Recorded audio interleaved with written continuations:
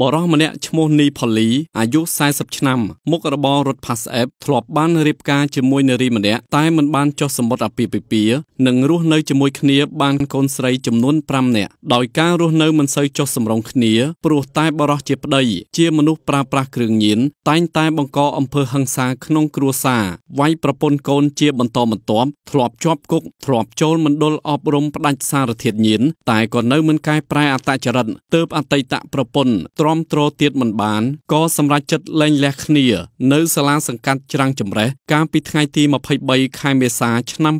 2023ក្រោយពេលលែងលះបរោះជាប្តីតាំងខ្លួនជាអ្នកស្មោះស្នេហ៍តែងតែទូរស័ព្ទទៅអតីតប្រពន្ធដើម្បីសុំត្រូវរូវគ្នាឡើងវិញ តែអតីតប្រពន្ធមិនយល់ព្រម រហូតដល់ព្រឹកថ្ងៃទី7ខែសីហាឆ្នាំ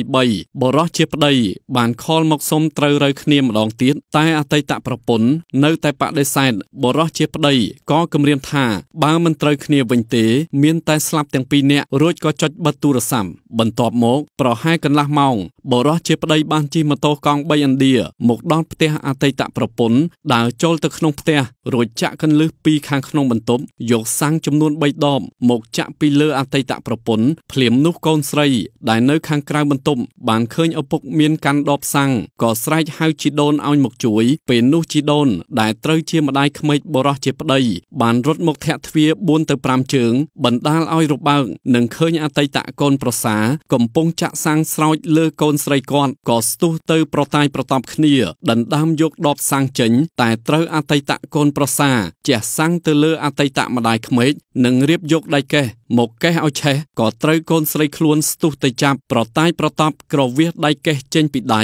រួចក៏បន្តប្រតាយប្រតប់គ្នា ហើយបរោះជាប្តីក៏បានជះសាំងទៅលើកូនស្រីខ្លួនម្នាក់ទៀតបំរុងដុតសម្លាប់ទាំងអស់គ្នាក៏ត្រូវបានអ្នកចិត្តខាងស្ទុះទៅចាប់ឃាត់និងខលប្តឹងសមត្ថកិច្ចអាវុធហត្ថខណ្ឌឫស្សីកែវចុះអន្តរាគមតាន់ពេលវេលាខាត់ខ្លួនបរោះឈ្មោះនីផូលីយកមកចាត់ការតាមនីតិវិធីច្បាប់និងបានពិនិត្យឃើញថាជនសង្ស័យមានជាប់សារធាតុញៀនក្នុងខ្លួនផងដែរបច្ចុប្បន្នជនសង្ស័យត្រូវបានកម្លាំងជំនាញកងរាជអាវុធហត្ថរាជធានីភ្នំពេញកំពុងកសាងសំណុំរឿងបញ្ជូនទៅតុលាការដើម្បីចាត់ការតាមនីតិវិធីច្បាប់ខ្ញុំសូមណែនាំឲ្យលោកអ្នកប្រើឱសថប៉ូដែនមីក ជួយបំបត្តិឈឺក្បាលនិងរោគប្រកាំងយ៉ាងមានប្រសិទ្ធភាពខ្ពស់ប៉ូដែនមីក